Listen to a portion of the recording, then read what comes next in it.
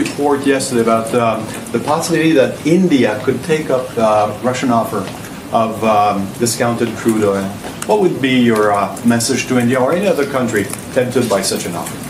Well, our message to, to any country continues to be that uh, obviously abide by the sanctions, uh, but that we we have put in place and recommended. Uh, I don't believe this would be violating that, but also think about where you want to stand uh, when when the history books are written in this moment in time. Uh, and uh, support for Rus- the Russian leadership is support for um, an invasion that obviously is having a devastating impact. Go ahead. Report yesterday about um, the possibility that India could take up the Russian offer of um, discounted crude oil.